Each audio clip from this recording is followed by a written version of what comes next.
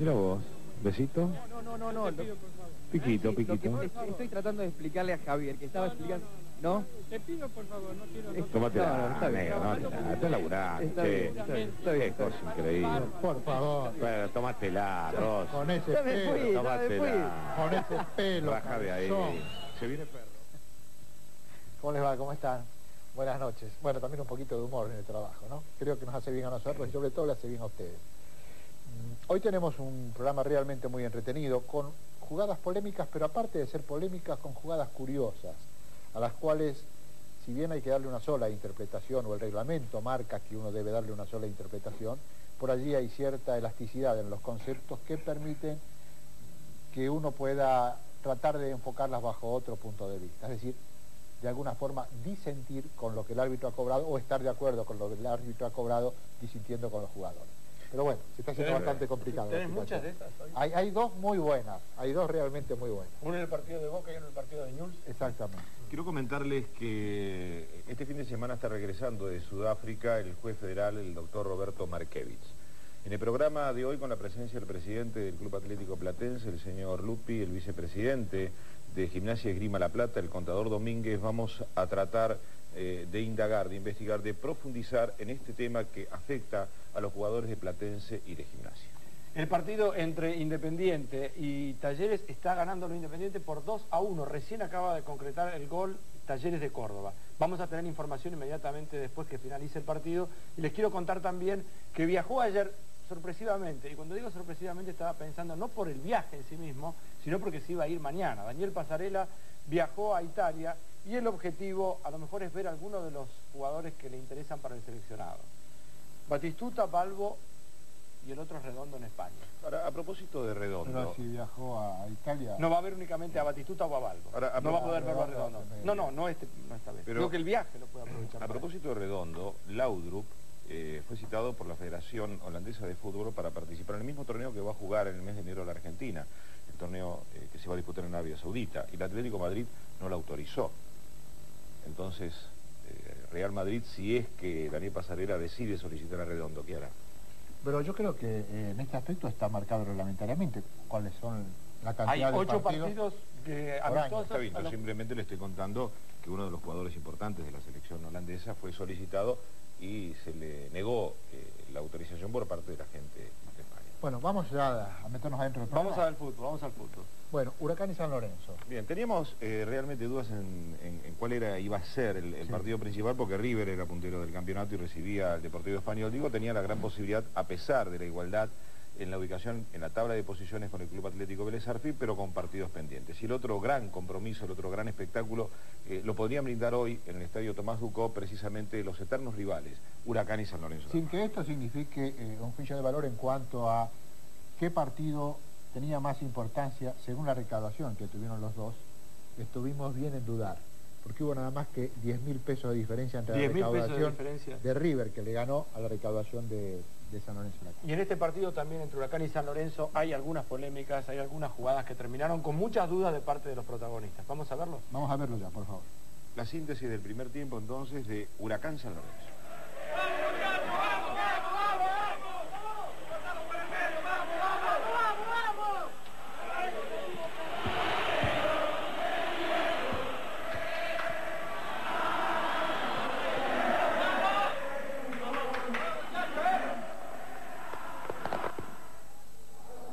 La orden de Baba, el partido está en marcha, así la tiene Roger Morales. Rinaldi. El capitán es Pedro Daniel Barrios. Lo busca al cabezón Flores. Allí está Huguito Morales, hoy con la número 8. El toque de Neto, el lateral para Huracán. Morales. La puntea Silas, este es Mario Conti, ahí está el zurdo Conti, lo persigue Montserrat. No puede Tucio, este es Delgado. Se viene Huracán con Delgado, la va sacando Ruggeri al córner, estilo de esquina para el Globo. Ese centro que saca Ruggeri. Estará preocupado. El Domino Veira. Se vendrá el lateral para San Lorenzo de Almagro. Vino para el hondureño Bennett. Lo marca Huguito Morales. El centro es al Pampa. Viallo muy pasado. La va sacando Conti. Lo presiona Montserrat. Tiro de esquina, dice Juan Baba. La desconcentración de algunos jugadores. Vamos a ver qué pasó. Allí está. Este es Conti. Domina la pelota. Monserrat le saca la pelota. Lo está agarrando Conti a Monserrat. Monserrat a Conti. Se venían agarrando los dos. Conciliando. La quiere Neto, se viene de contra San Lorenzo, a ver si lo agarra descolocado Huracán, está picando Neto Monserrat por las dudas, te lo digo. El Diablo que sigue, vino para el Pampa, puede ser el primero el Pampa, salva Gutiérrez. ¿Es tiro de esquina? Sí señor, el árbitro lo cobra, que corresponde a San Lorenzo. Con Recuplast Interior, sus paredes hablarán bien de usted. Vamos a ver la maniobra, el contraataque de San Lorenzo, el pase de Monserrat. Estaba habilitado Monserrat por las espaldas de Rinaldi. Allí va el toque. Con la pierna derecha salvó Gutiérrez. Viallo la hizo bien porque amagó tomar ubicación para pegarle fuerte y colocó la pelota. Viene el arquero también. Delgado, perdió con Galeto. Le falta desprenderse más rápido de la pelota a Galeto que va hacia los costados. Rotisalín calma el dolor. Allí está la infracción, claro. Tucio otra vez con el lateral, lo busca Monserrat, se la devuelve a Tucio. Levantó al Pampa Viallo, salta Corbarán, la pide Monserrat, pelea con Roger Morales, este es Neto, la quiere el Pampa y Bennett, la saca Gutiérrez y Corbarán despeja. Apura San Lorenzo, se va acercando el equipo de Beira, y está Neto, Gutiérrez.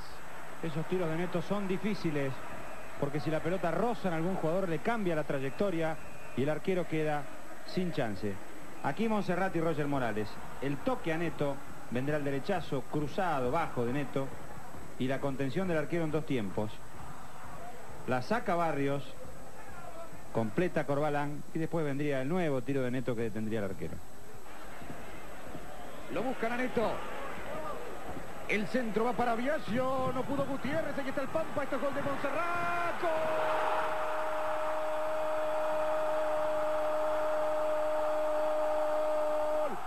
De San Lorenzo de Almagro, Roberto Carlos Monserrat. ¡Qué falla en el área! San Lorenzo 1, Huracán 0. Termidor, un buen momento todos los días. Si a alguien le quedó dudas, a ver si hubo infracción sobre el arquero de Huracán. Vamos a verla. Sale Gutiérrez. No, no hay falta. Se le escapa la pelota al arquero. Le queda la pelota a Monserrat por la sesión de Viallo y con la pierna derecha la toca el gol. Allí va. No da la sensación de que haya infracción. De Viallo sobre Monserrat. Monserrat con la derecha, su pierna más hábil, pone la pelota en el arco.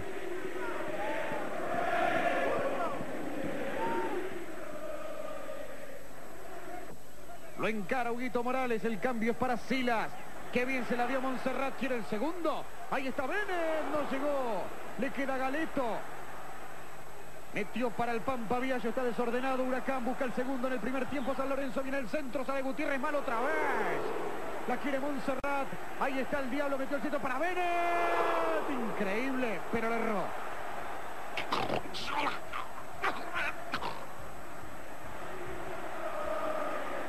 En tres centros estuvo a punto de definir el partido San Lorenzo.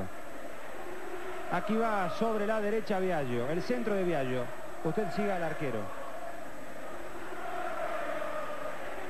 No pudo salir bien Gutiérrez. Le queda Monserrat. Y por muy poco no fue gol ese cabezazo de Bennett. La cubre Bennett, pegó en Roger Morales, vino para Neto, de zurda. ¡Qué pelota sacó Gutiérrez!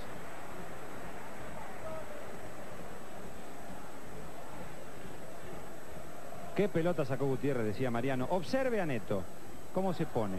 No tiene prácticamente ángulo, le pega de zurda espectacular el arquero. No tomó carrera Neto, le dio como venía. Muy bueno.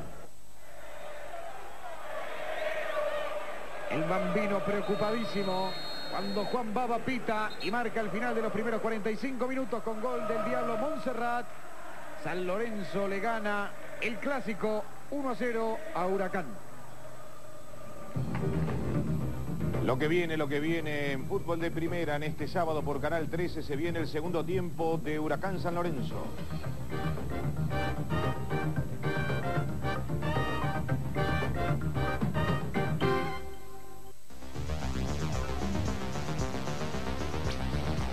Tocará Bennett con Neto. El segundo tiempo se largó. Gana San Lorenzo. Yacila se la entrega a Montserrat, el autor del gol.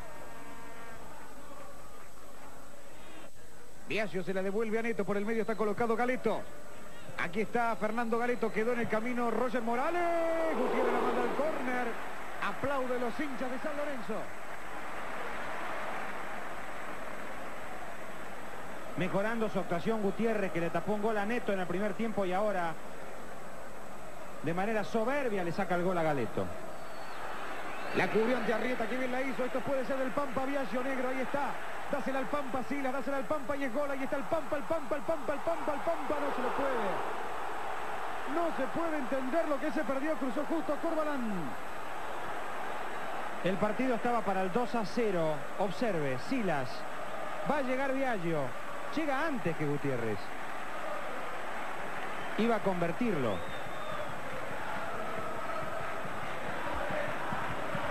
La saca Corbalán. Quiere una revancha Barrios en el tiro libre. Conti se acomoda también para entrarle de zurda. Poca carrera va Barrios. Ay, ay, ay, qué cerca pasó esa pelota. No se puede creer. Saque de meta para San Lorenzo.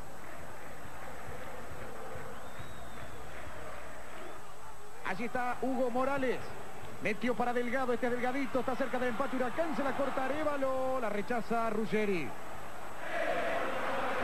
Preocupado el técnico de San Lorenzo que gana. Arrieta. Lo busca Hugo Morales. La marca es de Escudero. Adentro va para Delgado, ahí está Delgadito, se quiere acomodar de zurda, le hizo muy bien Delgado, no pudo con Ruggeri, ahí está otra vez Arrieta, puro Huracán, se viene Roger, vino para Hugo, Huracán que presiona, Huracán que busca, Huracán que insiste, ahí está Delgado, Delgado, este es Flores.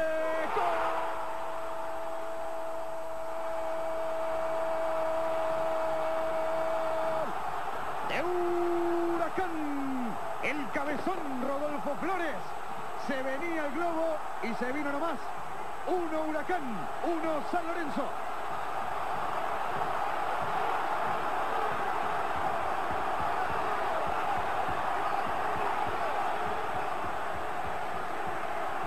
Iba, iba Huracán. El centro de Morales. Va a conseguir la pelota Delgado. El toque a Delgado. El rebote. Le queda Flores. El zurdazo cruzado. No puede hacer nada Pacet. Le pegó Flores y le puso un condimento particular a este partido. Llegó al empate en su mejor momento Huracán. Apura el Pampa Viallo, se desprende Montserrat. Ahí está Montserrat por el segundo. Gana Conti, que bien Conti. Sale Gutiérrez, lo cuerpea con falta Viallo, dice el juez. Picón dice que siga, que no ha pasado nada, me parece. Vamos a ver la maniobra de nuevo. Ahí se golpean. Golpea con la pierna izquierda. Me parece que en la cara de Viaggio, el arquero. Va Silas, le dio Silas, Gutiérrez para abajo, la busca Neto, la puntea Barrios. Salió mal el arquero de Huracán. Dejó la pelota allí. Para suerte de su equipo no había un hombre de San Lorenzo de frente al arco. La quiere Silas por la derecha, vino para el Pampa, la quiere Silas, vino para Bennett, aquí está Eduardo Bennett, está Silas, ahí está Silas, la pelea con Arrieta, ganó Silas, ahí está el brasileño, vino para Bennett, tapó Gutiérrez, ahí está Bennett, tapó Gutiérrez. Sale Corbalán.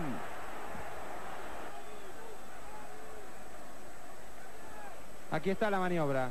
Llega Silas, forcejeando con Arrieta. Parece que va a ganar la posición Arrieta, se cae. Silas, el toque a Bennett, Vélez le pega de punta, la pelota le da a Gutiérrez en el cuerpo.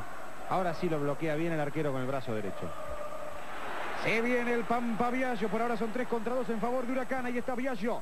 Se suma el Diablo, ahí está Montserrat, quiere liquidar Montserrat. Qué tiro fuerte. El brasileño que la busca. Bennett y Viallo acompañan. Por la izquierda, ¿quién? Nadie. Recién ahora Neto. Aquí Galeto. Aquí Galeto. Galeto. ¡Gol!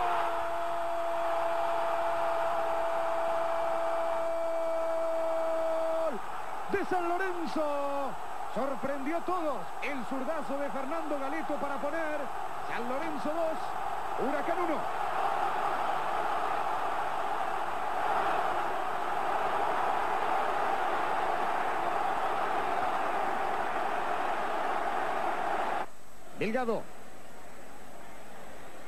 No hubo falta, dice Baba, y esto puede ser del Pampa Viaggio.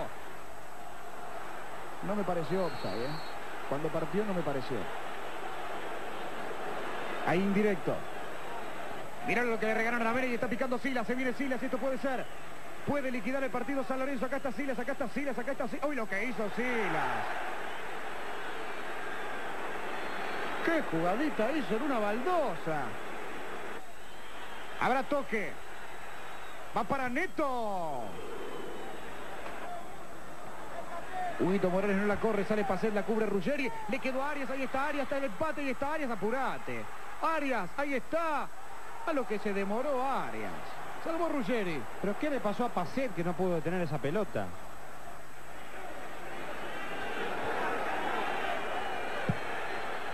Y en el centro, la busca Flores, centro barrio. Pegó en el palo. Otra vez el capitán. Se lo perdió Huracán increíble. Se lo quiere comer Delgado. Mientras vemos ese cabezazo de Barrios, pega en el palo, observe, la pelota sale hacia afuera. Llega Barrios que había cabeceado, no le pudo dar bien, increíble. El juez de línea le está advirtiendo a Baba que Corbalán le pegó un codazo a Viaggio. Me Sí. parece que eso es lo que ha marcado Carlos Picón, el juez de línea. El 3 afuera. Expulsado Corbalán. Silas. Viene para Rivadero. Viene para Montserrat. Liquida el partido San Lorenzo. Ahí está el diablo, el diablo, el diablo. Gutiérrez. Salvo Roger. La saca Rieta. Y Baba dice que el partido se terminó. El clásico fue para San Lorenzo. Con goles de Montserrat y Galeto. Flores para Huracán. El equipo de Beira sigue sumando. Le ganó 2 a 1 a su eterno rival. No, yo no sé si hoy soy Gardel. No creo. Eh, lo que sí que bueno, que evidentemente se nos ha dado, la se ha dado vuelta en muy poquito tiempo lo que habíamos hecho en el otro campeonato. Entonces hoy puede haber gente que tenga dudas. Yo dudas no tengo, de ninguna manera. Si yo tuviese dudas en no poder resolver esto, me voy solo sin que nadie me diga nada. Aquí entramos con la primera de las dos jugadas polémicas. Ese es Conti, por atrás viene Montserrat. Conti lo está tomando y Montserrat cae. Le lleva la pelota a Montserrat, ¿ves? Ahí lo toma, ahí lo toma, ahí lo larga.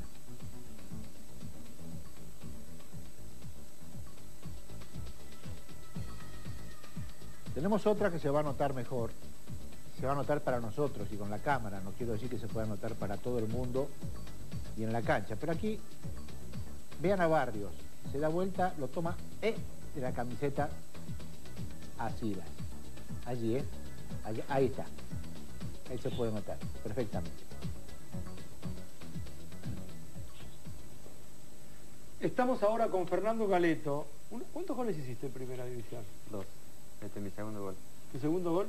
Tuviste una chance frente a Navarro Montoya cuando jugabas para Lanús, ¿te acordás? Sí, sí, nada más que como no, no estoy acostumbrado a esas situaciones, bueno, no, no supe resolver. Eh, pero el rebote me quedó para mí y bueno, fue penal, ¿no? Quiero hacerte la siguiente pregunta. ¿Vos sos un jugador habilidoso? ¿Sos un jugador hábil con la pelota? No, eh, habilidoso no. ¿La manejás bien? Eh, a lo mejor tengo un buen criterio, ¿no? Para, para tratar de asegurar la pelota, eso sí, pero a lo mejor de habilidad no, no tanto, ¿no? ¿Tenés buena técnica? Sí, podría decir que sí.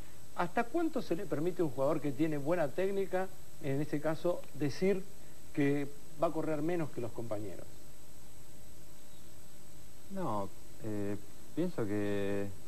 ¿Entendés la pregunta? O sea, a los jugadores sí. que manejan bien la pelota parece como, bueno, cuando la pierden, más los compañeros tendrán que correr. No, sí, pero en mi caso no. O sea, yo eh, acá el bambino me pide que, que juegue más de tapón, de que sea el equilibrio, ¿no? Así que eh, yo tengo que tratar de asegurar pelota hasta tres cuartos de cancha, ¿no? Eh, después hay jugadores que se le perdonan, a lo mejor como Pablo Sila, ¿no? Que es el, el encargado de desequilibrar hacia adelante. ¿Cuál de los partidos que le quedan a San Lorenzo vos crees que es clave? ¿El partido de Boca en la cancha de Boca? Sí, pienso que Boca y Vélez, ¿no? Tenemos sábado y martes, pienso que ahí vamos a ver realmente cómo, cómo quedamos. ¿Vos sentís que San Lorenzo los puede a todos los equipos que tiene adelante? Eh, yo siento que, que el equipo está bien, estamos muy bien parados dentro de la cancha y se crean situaciones, no, bueno, no, no sabemos definirlas, por ahí nos falta un poco de suerte, no sé qué, pero lo importante es que se crean, ¿no? Peor sería que, que no las creáramos. pero realmente yo tengo mucha esperanza en el equipo, estamos muy motivados y bueno, esperemos que, que salgamos campeones, ¿no? Vos estás de préstamo en San Lorenzo Sí, sí, a préstamo por un año, soy de Lanús. y te querés quedar. Sí, estoy muy bien acá, la verdad que estamos bien, no, a mí me recibieron bárbaro, eh, hay un apoyo general tanto de, de los dirigentes como de la gente, ¿no? Las cosas van bien, los dirigentes están cumpliendo como para, como para apuntar arriba, así que espero que los resultados acompañen. Te quiero hacer la última pregunta y tiene que ver con esto. ¿Viste la última jugada que hizo Silas? Esa que pasa la pelota por arriba con la Sí. derecha y se la lleva con la zurda. ¿Él hace eso habitualmente? Sí, sí, normalmente eso es normal, en él es normal. Eh, generalmente cuando llega al fondo y tiene una- un tipo al frente hace eso, le pasa a la derecha y con la izquierda engancha y, y ahí tiene un cambio de ritmo espectacular que, que casi siempre saca ventaja. San Lorenzo le ganó hoy por 2 a 1 a Huracán. Uno de los autores de los goles y además una de las figuras del espectáculo, Fernando Galeto, estuvo aquí hoy en Canal 13. Gracias por haber venido. Gracias a usted. Chao. Marcelo.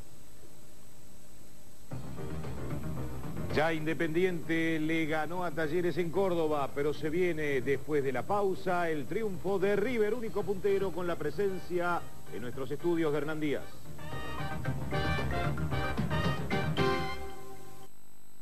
Ganado nunca en esa cancha el Deportivo Español. Deportivo Español en la tarde de hoy aparece con la camiseta de la selección española. A propósito de la selección española, hice dos goles en contra cuando estaba Adrián comentando el viaje de Daniel Pasarela para ver algunos jugadores argentinos, para ver fútbol en, en Europa. Cuando daba el ejemplo del danés Laudrup que juega en el Real Madrid, quise decir que no lo habían autorizado y entonces mm, llama la atención esto si es que el técnico de la selección eh, nacional decide convocar a Redondo para los partidos internacionales amistosos en Arabia. Pues bien, vamos entonces a los primeros 45 minutos. ¿Vos suponías que iba a haber alguna marca personal sobre jugadores de River? Español? Yo había charlado durante la semana con, con Luongo y él me comentaba que la disposición iba a ser distinta si tomamos como referencia el partido, no sé si recordarás, que transmitimos de Español frente a San Lorenzo del Mar. Pero eh, bueno, ahora vamos a ver la síntesis del primer tiempo y ya Enrique se va a encargar de marcarles cuál fue la disposición, no solamente del Deportivo Español, sino también del Club Atlético River Plate. Vamos ya entonces a la síntesis de los primeros 45.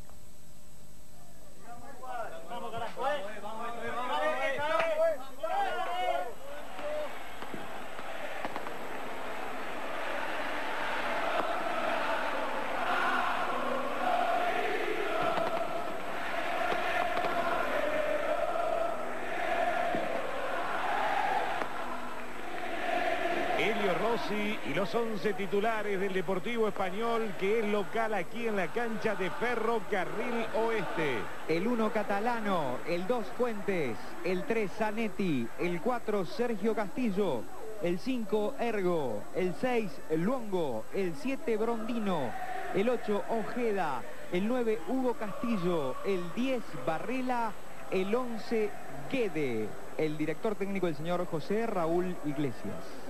Miguel Fernández y los 11 del Tolo Gallego. Con el 1 Burgos, 2 Ayala, 3 Altamirano, 4 Hernán Díaz, 5 Astrada, 6 Rivarola, 7 Crespo, 8 Gallardo, 9 Francescoli, 10 Berti, 11 Cedrés, dirige tácticamente el señor Américo Rubén Gallego. Llegará la orden de Miguel Ángel Sime.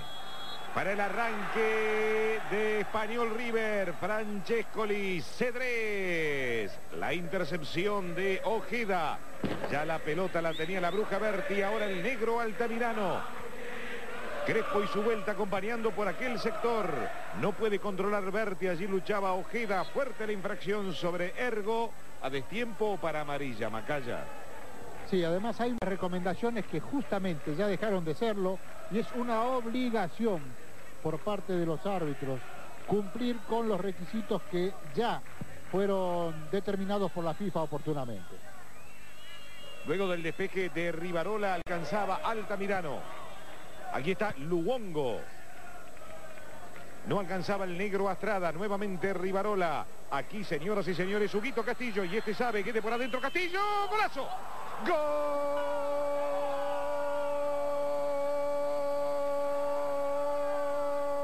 ¡Golazo de español! ¿Vieron cómo este sabe? Huguito Norberto Castillo. Antes del minuto, Español le está ganando a River por 1 a 0. Terminor, un buen momento todos los días.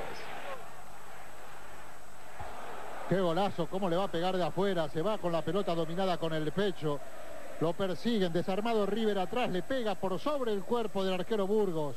Y de esta manera se pone Español 1 a 0 arriba en el primer ataque profundo. Bueno, recién empezaba el partido, ¿no? Aquí está Sandro Fabrizio Ojeda.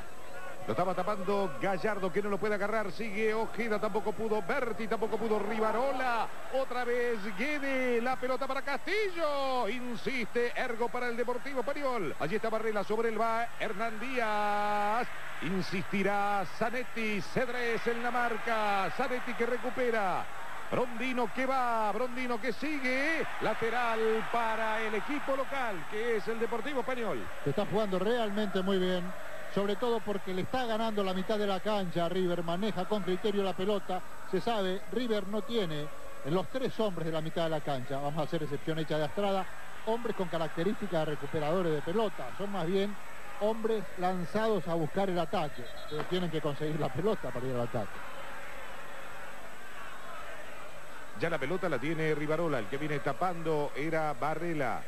Brondino que luchaba, Francescoli que no podía, Gallardo que insistía, señoras y señores, se viene otra vez el Deportivo Español, hubo infracción, hay tiro libre luego de la falta que le cometieron al autor del único gol de este partido, Huguito Norberto Castillo, acomoda para entrarle a esa pelota Zanetti, cerca está Barrela, están esperando que llegue Luongo, aquí está Luongo, en realidad iba a buscar el área, ¿no?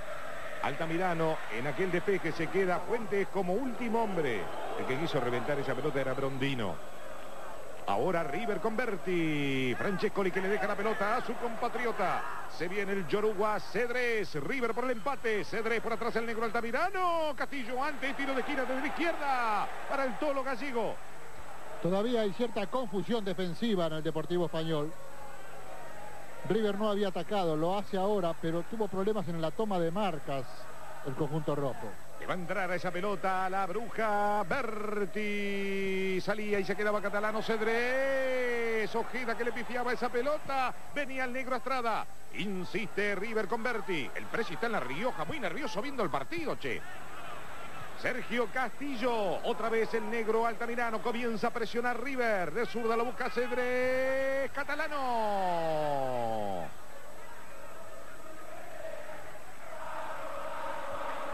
Cedrés para pasar, ligeramente lo toma del cuerpo al jugador de español y después se tira. Catalano choca, acá el árbitro hace seguir. ¿Quiénes son los suplentes del Deportivo Español? Pontiroli, Van Houte, Lotito, Spalina y Graciani. Además de Dieguito Benzaquén, ¿quién está en el banco de River? Con el 12 Miguel, 13 Corti, 14 Almeida, 15 Luigi Villalba y con el 16 el burrito Ortega. Gallardo, allí viene Gallardo, indirecto. No otorga la ley de la ventaja como hubiese correspondido Miguel Chile. Hernán Díaz, otra vez Gallardo, el que viene para marcarlo es el jugador Zanetti, Francesco cerca del primer palo. Allí insiste Marcelito Gallardo. Zanetti, ahora Hernán Díaz. Este es el negro Astrada. Se viene Hernán. Este es Hernán. Francescoli. Que le pide tiro de esquina porque él entendió que la pelota había rebotado en barrera. El árbitro dice saque desde el arco. Aquí lo podemos ver. La pelota parece que rozara el hombre del Deportivo Español. Digamos que eh, Ojeda, que es uno de los hombres que puede manejarle la pelota en el medio español, está muy abierto y casi solo en la derecha, poco buscado. En el medio aquí aparece Ergo.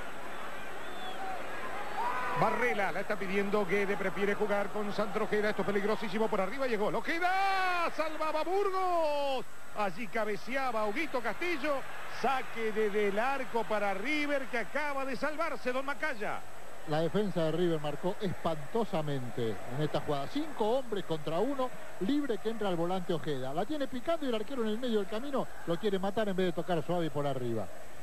Se ha perdido una oportunidad increíble el Deportivo Español.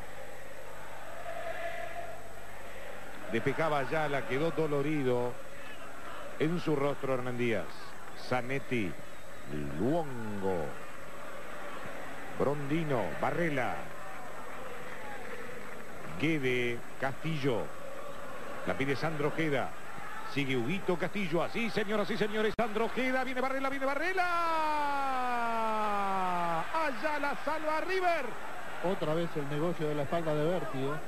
Ojeda le gana la espalda y pudo meter ese pelotazo hacia atrás en forma de centro. El negro Astrada sobre el está Huguito Castillo. Otra vez Hernán Díaz. Brondino.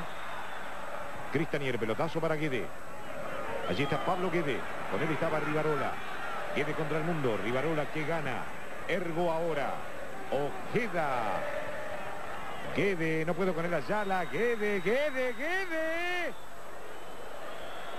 Pablito, vos también muy cerca, querido, ¿eh? Con Recuplast Interior, sus paredes hablarán bien de usted. Allí otra vez decíamos el contraataque. Vean ustedes, cinco jugadores de River. En definitiva no pueden impedir que el jugador del Deportivo Español, en este caso Guede, como vemos que engancha con la pelota con la derecha, se acomode y remate. Ojeda es el que lleva. Atrás del que no puede. Sanetti. Barrela los compañeros sobre el sector izquierdo. Huguito Castillo delante. Aquí está Hugo Castillo. Se viene el Deportivo Español que quiere más. Este es Castillo y aquí está Barrela sobre el va Hernán Díaz.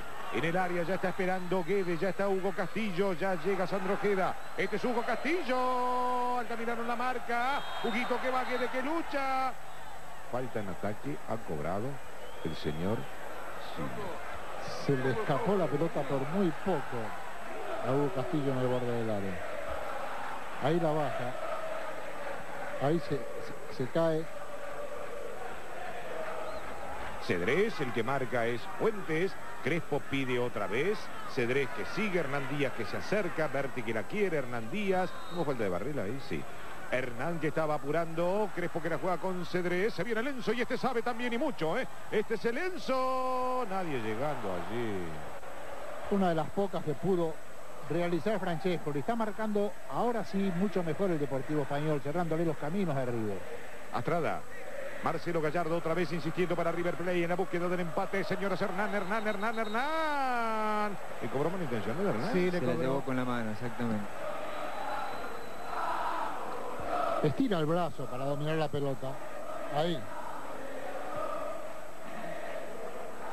Acá se puede ver también.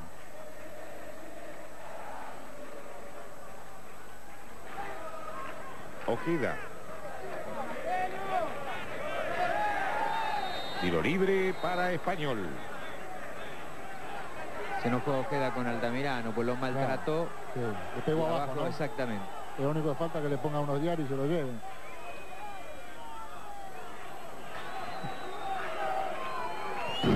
Ratisalín calma el dolor.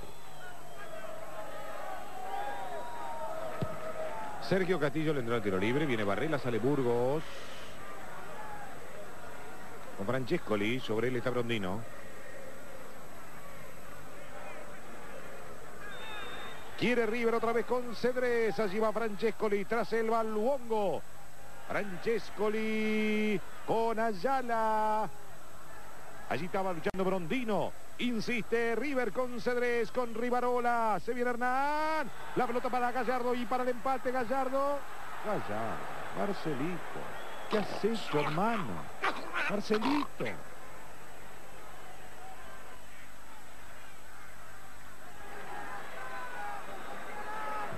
Ayala, el negro Astrada.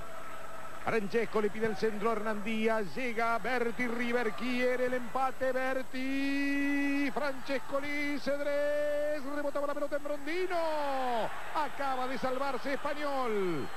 Se viene el contraataque, este es Zanetti, el negro Altamirano, Luongo tranquilizando, Barrela la tiene, otra vez el cabezón Zanetti, después de Ayala la pelota la tiene Rivarola y ahora Altamirano.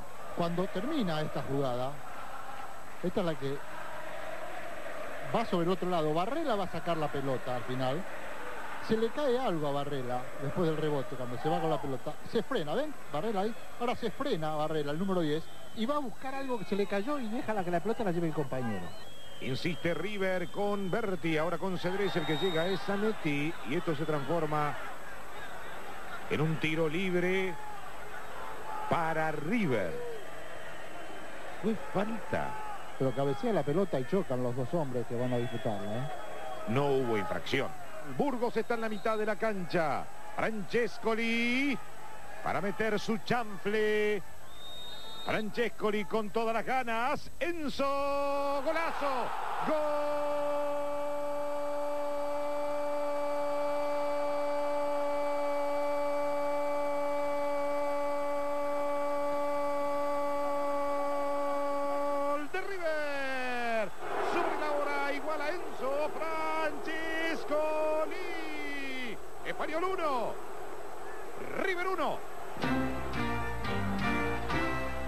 1 CL, uno para vos. El partido arrancó con un gol y este primer tiempo va a terminar con este golazo de Francescoli. Una barrera de tres jugadores. El chanfle metiendo la pelota en el segundo ángulo.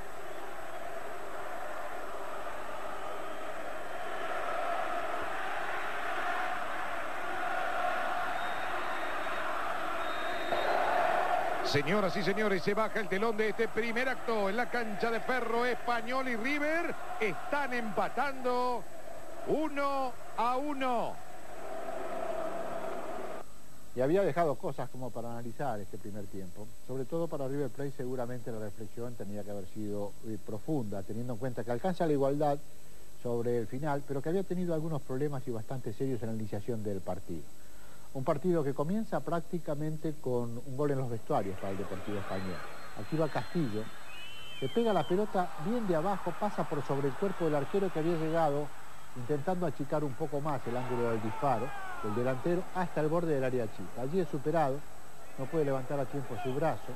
Había quedado mal ubicada la defensa de arriba. Este es Francesco, y como vemos, levanta por sobre una barrera de tres hombres, que se desarma. Catalano, cuando va Francesco hacia la pelota, da un paso hacia su primer palo, como teniendo miedo que el chample venga cerrado, buscando el primer ángulo. Sin embargo, la pelota va sobre el segundo ángulo y de esta manera River, que no había jugado bien en estos primeros 45 minutos, se pone uno a uno. Esto no quiere decir que River haya sido superado por el Deportivo Español, pero de todas maneras el equilibrio del marcador marca también un poco el equilibrio del desarrollo. Ya volvemos. Lo que viene, lo que viene en fútbol de primera, el segundo tiempo de River y Deportivo Español con Hernán Díaz aquí en Canal 13.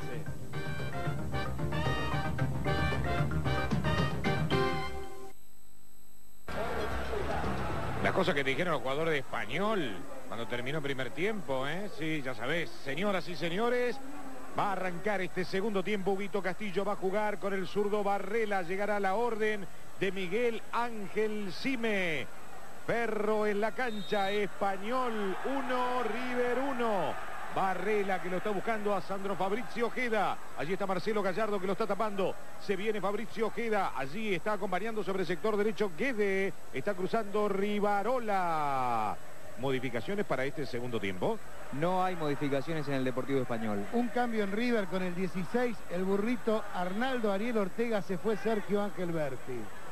Señoras y señores, allí estaba intentando Cedrés. La pelota la recupera Zanetti para el Deportivo Español. Barrela que va, Hernandillas que toca.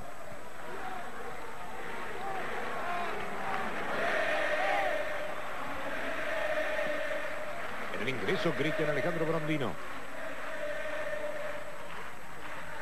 Otra vez buscando la Barrela, que había cabeceado era Cedrés. El que devuelve es Guillermo Daniel Rivarola. Este es el burrito Ortega, Zanetti, el negro Astrada y toda su polenta.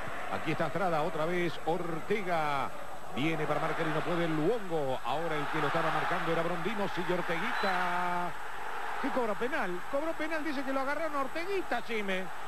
Protesta catalano que lo viene a agarrar a Ergo para que no se le vaya encima al árbitro. También lo está taponando a Luongo.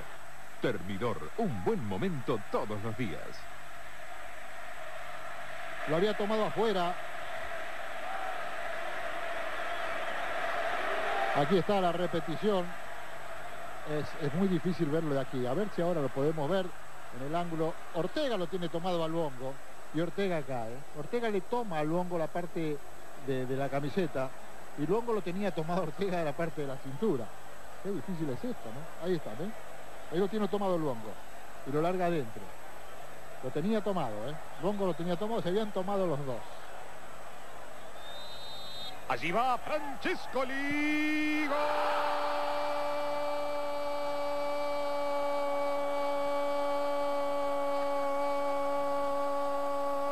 de River. Otra vez, Enzo Francesco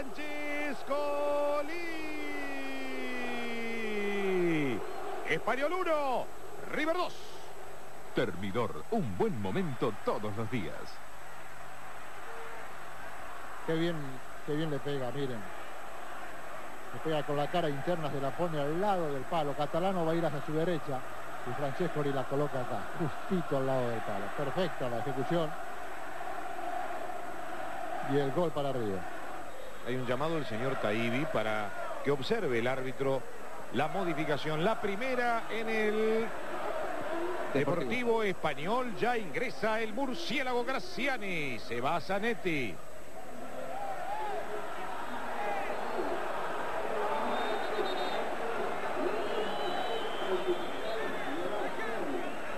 Sandro Ojeda, sigue Ojeda, marca Hernán Díaz. Alfredo va, Burgos gana, apura poquito Castillo. Se ha hecho mejor jugado el partido ahora. Este es Ojeda que con zurda, este pasado no llegaba ningún compañero del Deportivo Español. De todas maneras, digo, se está haciendo más Ortega con Crespo. Sigue Crespo, quiere liquidar el partido. ¿Qué cobraste? Cobró mano como si fuera intencional y no fue intencional. Se la cobró Castillo. Me parece que tenés razón, Hernán, ¿eh?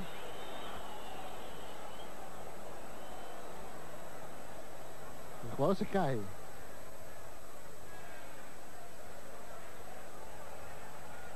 Pega la pelota en la mano, no la mano va a buscar la pelota. Catalano. Ergo. Castillo, con él está Hernán Díaz. Se viene Huguito Castillo, la quiere Graciani, prefiere con Guede, Guede, otra vez, querido, con la de palo y afuera, Pablito. Otra pelota muy bien puesta para Guede.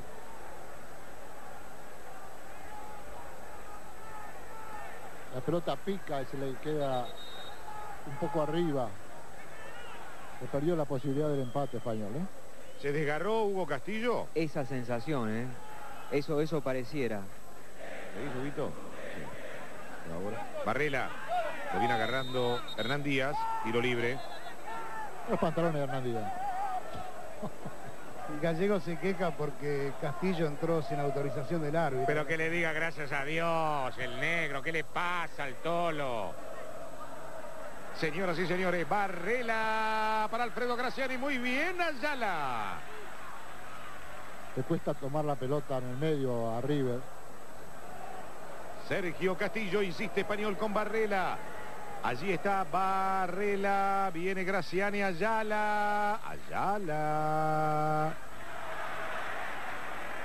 Marcelo Gallardo. Se había ido ese balón. Corresponde lateral para el Deportivo Español. Barrela. Recupera Enzo Francescoli. Aquí está Cedrés. Ortega va, Crespo también, sigue Cedrés, que bien la hizo Crespo para cortar el offside y controla Catalano. 1 CL, uno para vos.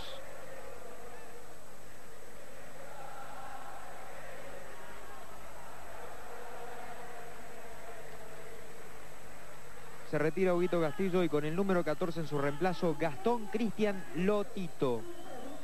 Barrela. Guede que va, Ayala que llega.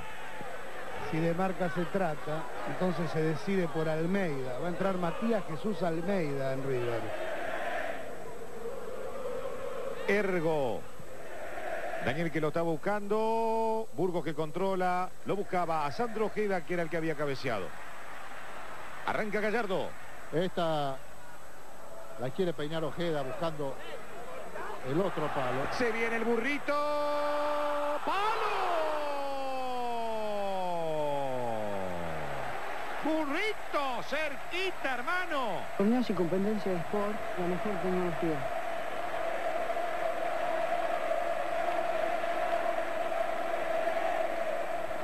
Bueno, se va a producir la segunda modificación en River. Ingresa con el 14 Matías Jesús Almeida. Se va con el 16 Arnaldo Ariel Ortega. Néstor Gabriel Cedrés. Jorge Crespo la quiere Enzo a la izquierda.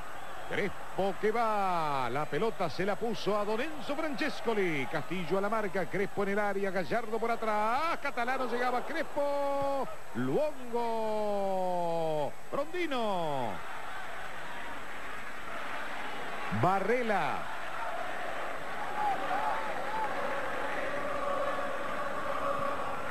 Ahora lo enfrenta Almeida. Sigue Castillo. Sale Burgos. Ahora la pelota ya la tiene el Yoruba Cedrés. Francescoli en posición adelantada. Tiro indirecto.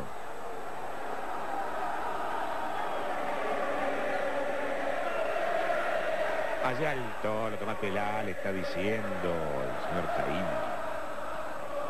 Gana Francescoli. Fuentes estaba amonestado. Francescoli. Marcelo Gallardo. River quiere liquidar el partido. Gallardo. Golazo.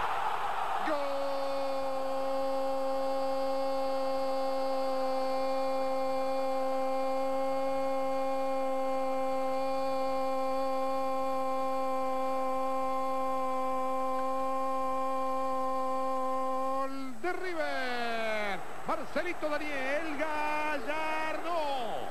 River 3. Español 1. Termidor, un buen momento todos los días. Hablábamos del convencimiento de la gente de River de una victoria que prácticamente no iba a poder ser modificada. Aquí está la rúbrica.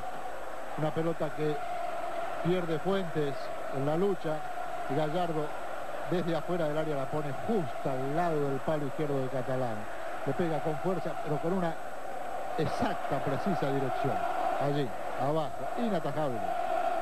Señoras y señores, estamos viviendo a través de Canal 3 en esta producción nacional de torneos y competencia el triunfo del único puntero del campeonato, el Club Atlético River Plate. En el tiro libre, Sergio Castillo será la última jugada del partido. Allí estaba despejando Cedrés, ya la tiene Almeida. Viene a presionar Ojeda. Ergo. Marcelo Gallardo, con él está Sergio Castillo. Tiro libre, dice Miguel Sime, el árbitro del partido. Intenta Ojeda, Castillo, marca Gallardo, señoras y señores. River acaba de ganarle aquí en la cancha de Ferrocarril Oeste al Deportivo Español por 3 a 1 y es el único puntero del campeonato. Ayala, ¿cómo terminaste? Dolorido, dolorido, pero bueno, todavía yo en el entretiempo me infiltré. eh, creo que la infiltración no me, ha- no me ha hecho efecto. Vamos, vamos a ver ahora la, la evolución que, que tiene el tobillo. De aquí al martes a descansar a ver si llegás. Seguro, el médico me dijo reposo total, mucho hielo y bueno, antiinflamatorio. No, no, me molestó de nuevo como, como la otra vez, pero un poquito menos. Hice un pique y, y se, medio se me contracturó y por eso salí. La idea nuestra es llegar en los últimos cuatro puntos con, con tres puntos de ventaja, porque son difíciles, como todos los partidos, pero esos dos son, son los más bravos. Sí, sí, están muy, muy calientes los jugadores de español porque yo mismo de afuera te lo puedo decir con más tranquilidad.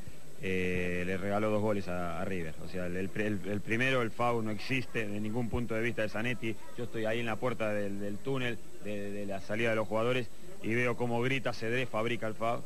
Y después en la otra el penal también se lo regala, así que contra todo no se puede luchar. Yerba mate Chamigo, la yerba suave y que más rinde premia la habilidad, el esfuerzo y la corrección deportiva. Todas las semanas al jugador que rinde como esta yerba, Chamigo le ceba este fabuloso premio. Astrada, qué victoria. La gente se queda festejando porque son dos puntos que tienen un valor importantísimo. Sí, creo que estos dos puntos son muy importantes para seguir ahí arriba, pero lo, lo más importante de todo es que nos encontramos con un resultado adverso y creo que lo subimos a remontar. En un equipo hace falta un arquero seguro, hace falta un tipo como Francescoli para sacar las papas cuando queman, pero también hace falta una Astrada para recuperar y para que sea el termómetro en la mitad de la cancha. Mira, yo creo que todos los jugadores que le entran a jugar, que le toca jugar, son muy importantes. Vos fíjate que hacemos un sacrificio muy grande dentro del campo de juego para, para sacar las cosas adelante. y por suerte nos están yendo las cosas bien. Bueno, porque te están yendo las cosas bien, porque corriste, porque te sacrificaste. Marcelo Araujo y Macaya Márquez te eligieron el jugador del partido y por eso el premio Chamigo hoy es para vos, Leo. Bueno, muchas gracias. La verdad que lo quiero compartir con todos mis compañeros por el esfuerzo que hicimos y porque seguimos manteniendo la punta. Estamos con Hernán Díaz. Hernán, ¿existe la suerte en el fútbol? Sí, seguro que Yo creo que todo equipo que quiere lograr un objetivo tiene que acompañar todo lo bueno que tiene con, un poco de suerte, es indudable, si no se hace todo más difícil. Escuchaba lo que decía Toti Iglesias, dice, bueno, le regalaron dos goles y por eso perdimos. Sí, no coincido para nada, por supuesto. Creo que, primero que no, nos regalaron, hoy en día no sé, no solo en el fútbol, sino que en, en cualquier ámbito de la vida nadie regala nada. Y segundo, que, que estamos en la punta y creo que tampoco nos regalaron nada. Nos regalaron la punta, ¿no? ¿Por qué ese distinto River en, distintos pasajes del partido? De pronto se parece que estuvieran confundidos en la mitad de la cancha o en la línea de fondo, muy atados los de arriba o muy marcados y muy separados de los volantes.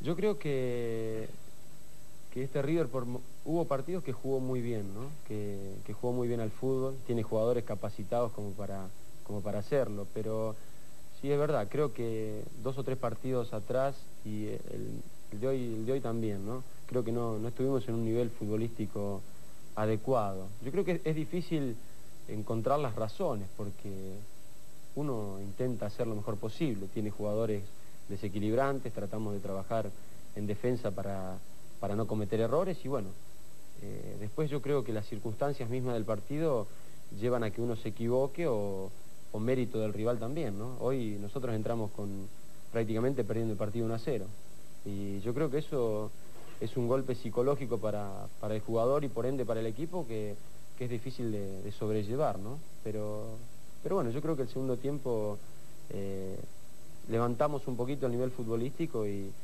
más allá de todo creo que River tiene jugadores, como dije antes, desequilibrantes que, en fútbol creo que es lo esencial.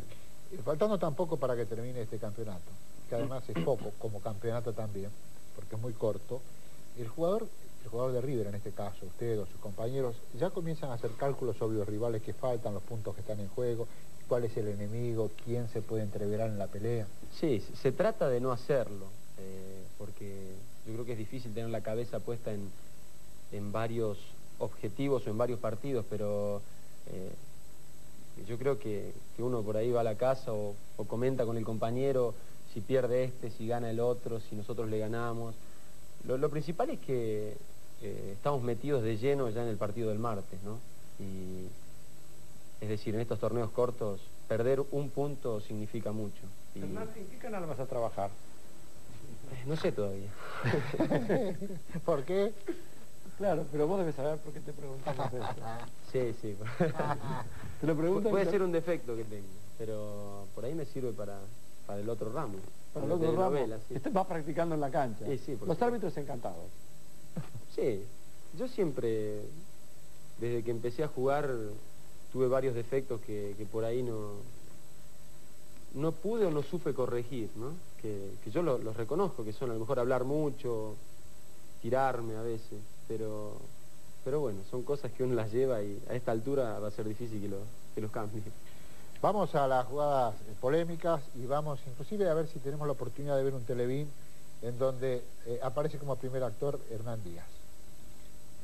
Polémica primero. Bueno, esta sí que no la vio nadie, ¿eh? Ni el Toti Iglesias. Ahora se la vamos a mostrar. ¿Cómo se va a poner? Miren la camiseta del jugador de, español, ¿eh? Ahora le van a ver la camiseta del jugador de español. A ver, a ver, a ver. El negro Altamirano es el que lo viene agarrando. Observemos bien. Ahí. Es que estos agarrones son casi imperceptibles, ¿no?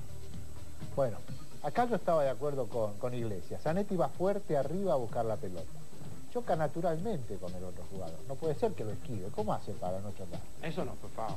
A ver agarrando él? Yo, bueno, no me acuerdo bien, ahora lo voy a ver por televisión. Este, me tiré ahí, me agarró y, me tiré adentro del área. penalazo, ¿no? Terrible. Por supuesto. Es gracioso lo de Ortega. Dice, no me acuerdo lo que había por televisión. Es fantástico. Bueno, no parecía al principio penal. Marcelo incluso preguntaba, ¿pero qué cobró? Miren ahí, Ortega había tomado, después Luongo lo toma y no lo larga. Y cuando lo larga, ya está dentro del área. Bueno, aquí está el televidente. Esta es una jugada, usted la debe recordar bien, Hernán. ¿eh? Sí. Nosotros nos quedó la duda, si era o no era posición adelantada, porque se la devuelve muy bien Cedré. ¿Cómo hubiera definido si, si tenía que definir? La, la verdad no sé. Eh, daba la impresión que Luongo, pregunta. ¿no? Te Ahí está, mira el televín, ahí está. A ver.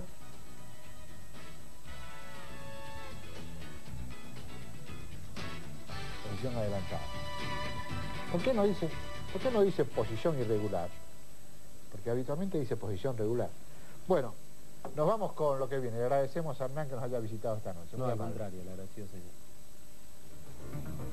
Lo que viene, lo que viene, fútbol de primera a través de Canal 13. Se viene el triunfo de Independiente de esta noche en Córdoba frente a Talleres.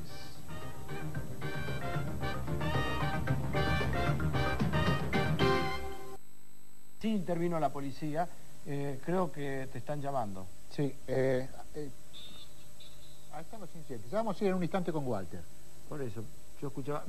Los gases lacrimógenos, este es Ariel Boldrini, el jugador de Talleres. Oliveto tuvo que posponer el comienzo del partido por casi 15 minutos.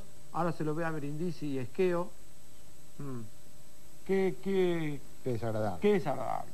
qué Ahora, desagradable. otra vez en el estadio. Pero eh, naturalmente que la policía ha tomado las precauciones, bueno, por eso lo que hemos visto recién, tomó eh, de alguna forma un camino, no voy a decir si es el más adecuado, el menos adecuado, pero ahora ha puesto mano firme tratando de reprimir cualquier tipo de problema. ¿no? Hubo una diferencia. La vez pasada, frente a la inacción de la policía en el partido donde dirigía Rusio, ingresó un señor y lo golpeó. Y se fue y la policía no hizo nada. Esta vez la policía, frente a la agresión que sufrían entre las dos hinchadas, la de Independiente y la de Talleres, decidió intervenir con gases lacrimógenos. En fin, no, no sé. Bueno, eh, perdóname ahora sí que estoy escuchando el llamado de Walter. Adelante, Walter, por favor, en Córdoba. Y muy bien, ha finalizado el partido aquí en Córdoba. Estamos con Miguel Ángel Brindisi, el técnico de Independiente, con el Nano Arián, que debutó con Talleres. Técnico que debuta gana, dice el refrán. Por la transpiración mía está más tranquilo Miguel, se ve que ganó Miguel. Bueno, hablamos un poquito de este Talleres. ¿Cómo lo viste? Vas a tener que trabajar seguramente mucho en la parte anímica, ¿no? No, no. Eh, La actitud del equipo fue buena, no hemos jugado bien, pero la actitud eso sirve como para pensar de que más adelante tenemos que salir. Miguel, ¿pensaban que se le iba a complicar como se les complicó en el segundo tiempo, después de un primer tiempo aceptable? Sí, yo creo que fue un partido muy parejo, ¿no? Y Talleres jugó muy bien, lo bien decía el Nano. Yo creo que uno, cuando tiene un equipo que tiene una actitud de que lo entrega todo en la cancha, es decir, todos queremos ganar, pero cuando un equipo lo entrega todo, uno se queda tranquilo en su conciencia.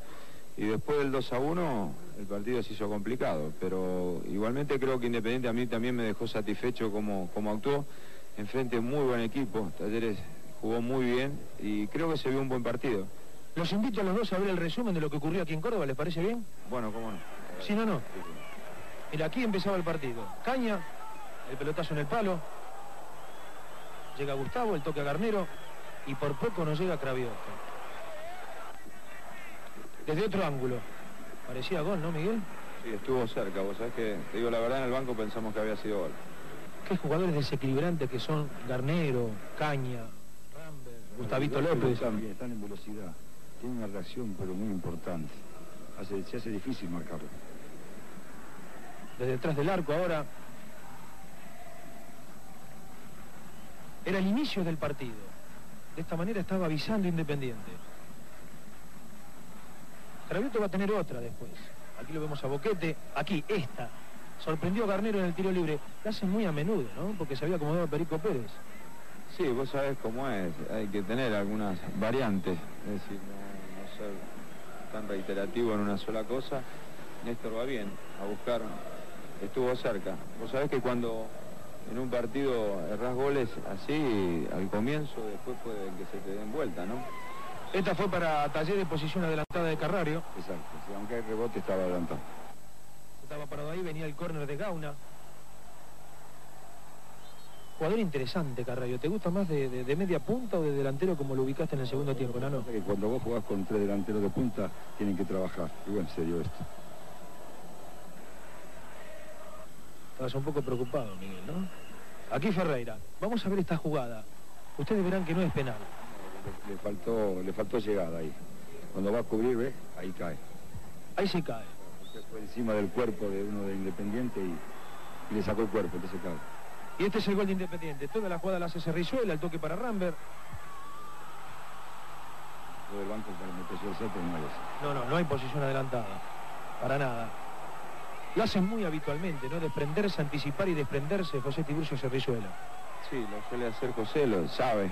Ha trabajado mucho tiempo también como volante. Llega muy bien y hay algo muy importante.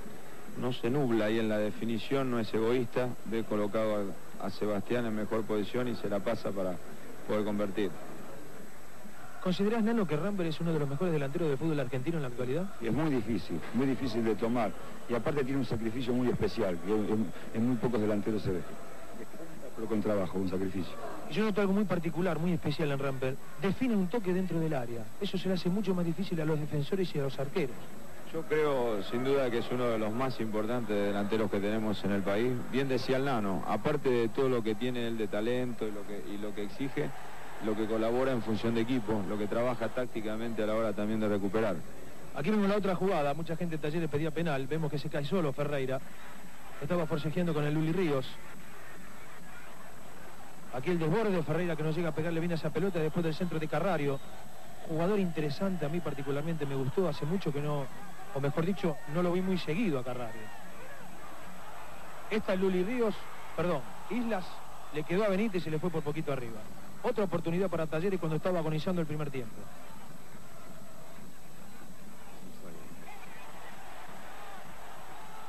Carrario no llegaba, La vemos de nuevo. Se jugó la vida aquí Islas, ¿eh? Que tuvo un par de intervenciones realmente estupendas. Muy bien, la verdad Luis muy bien, está trabajando muy bien y, y muy arriesgada, una jugada arriesgada, ¿no? Ya estamos en el segundo tiempo. Este fue el arranque, el tiro libre de Gauna. ¿Tuviste tiempo de practicar mucho con pelota detenida, no? No, No, en absoluto, muy poquito. Confío en la, en la, en la virtud del jugador, no por eso lo mandé.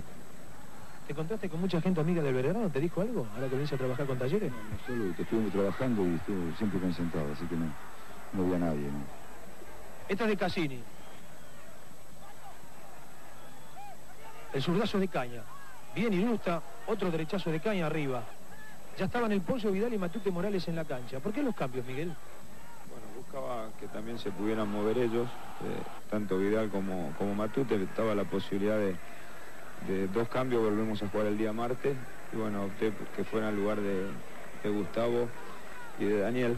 Vienen trabajando bien, tanto Matute como, como el Pollo. Mientras veíamos el segundo gol de Matute Morales, precisamente. Definió muy bien, es un chico que tiene mucho futuro. Sin duda de que va a ser uno de los, de los grandes jugadores a corto plazo que va a tener el fútbol argentino. 2 a 0 ganaba Independiente hasta que llega este cabezazo de Boldrini. El centro, el cabezazo de Boldrini, nada que hacer para Islas, que después le va a tapar una pelota, un cabezazo fenomenal a Carrario. ¿Lo recuperaste Boldrini? ¿Te costó mucho?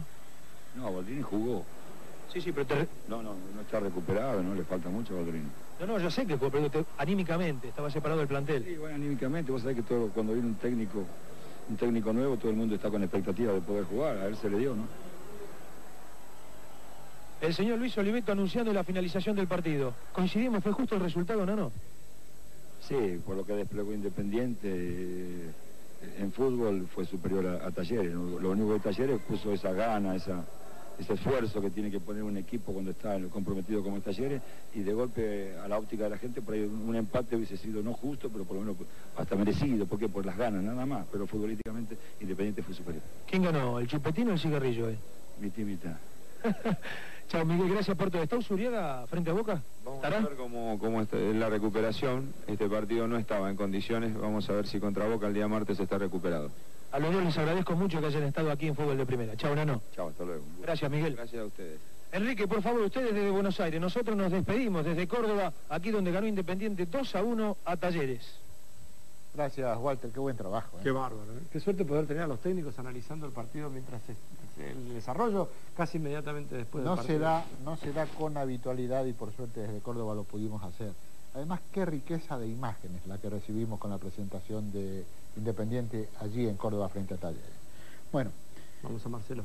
Vamos a Marcelo. Marcelo, por favor. Gracias. Esta es la tapa de la revista El Gráfico. Enzo Francescoli y su festejo. La revista El Gráfico anticipa su salida. Mañana por la noche estará en todos los kioscos del país. ¿Qué es lo que contiene en su interior? River, que ya se siente campeón. San Lorenzo también.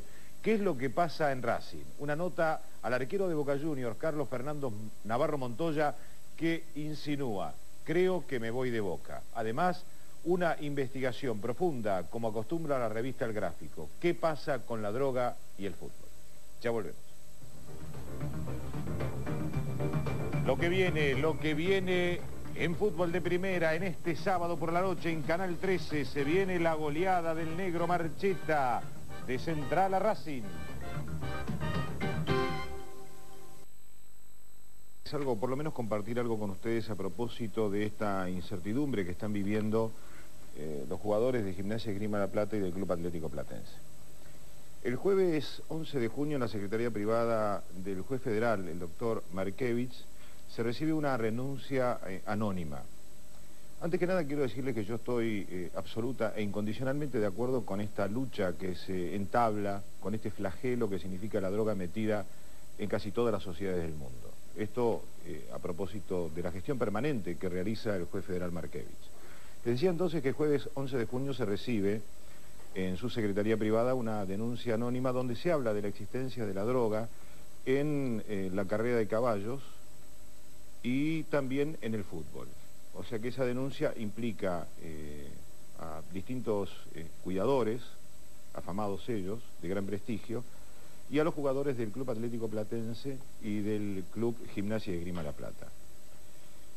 Una de las cosas que quiero decir rápidamente es que mm, permanentemente la Asociación del Fútbol Argentino, a través de sus dirigentes, ha bregado en la lucha contra el doping en el fútbol, por eso precisamente implementó un sistema de prevención, de cuidado, que es realmente muy pero muy costoso. Y son innumerables los casos eh, positivos que se han conocido a partir de ese momento.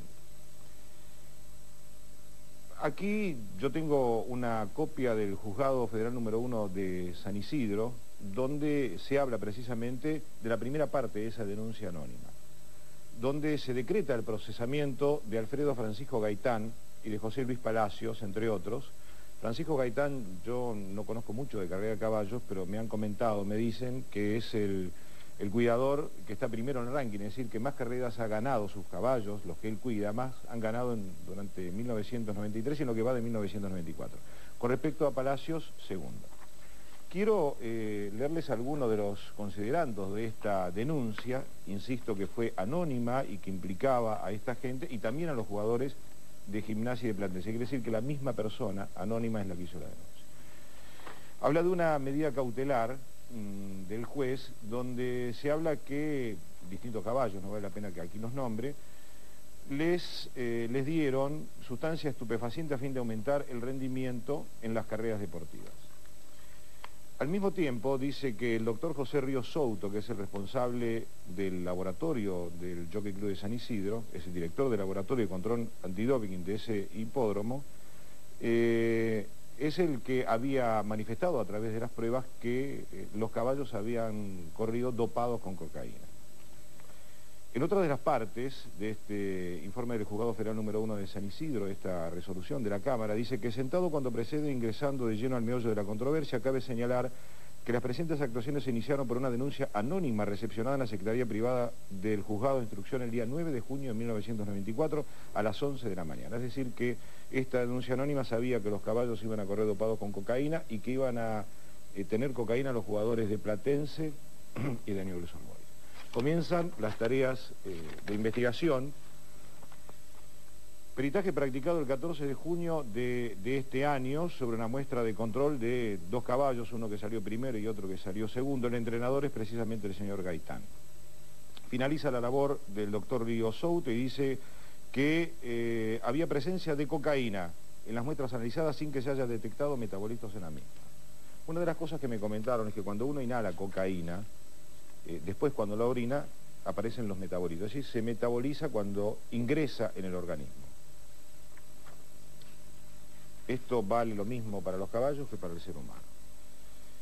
Uno de los folios, el 67, dice que eh, el informe que realizó el doctor Jorge Echeverría, ex director de los servicios veterinarios y laboratorio del control de doping del hipódromo argentino de Palermo, designado perito de parte, quien sostuvo que en la hipótesis eh, que nos ocupa y de conformidad con los datos suministrados por el Quality Assurance Program, organismo internacional que rige los laboratorios del control y doping, y el doctor Thomas Tobin en sus libros Drugs and the Performance Horse, es decir, eh, la, la droga, la performance de los caballos, que la ausencia de metabolitos resulta indicativa que la cocaína fue hallada pura.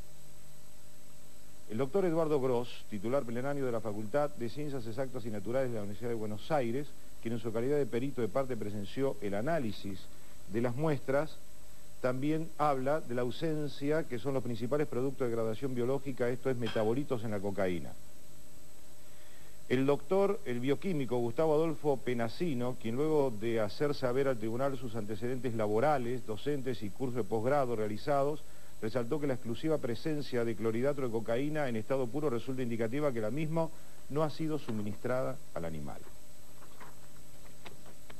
También fue escuchado en declaración juramentada el doctor Pablo Ezequiel Otero, médico veterinario a cargo de la Cátedra de Farmacología de la Universidad de Buenos Aires, que señaló que en todo aquel que consume estimulantes produce metabolitos, a la par que existen determinadas rutas metabólicas utilizadas con el caballo para desembarazarse del estupefaciente, las que no difieren prácticamente de aquellas empleadas por el ser humano.